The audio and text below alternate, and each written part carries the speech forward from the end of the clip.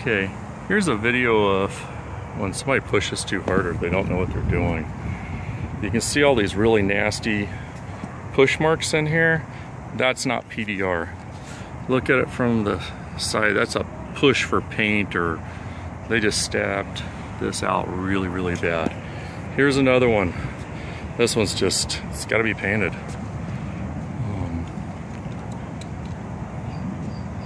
Poor guy just bought this and then was asking about repairing it, but it's gonna be a lot of money to do. Chances are this could have all been PDR'd and paint and just, you know, just a good repair. But on this, it just kind of got me a loss for words. Zoom in, you can see all the cracks. This is just bad. This is sad.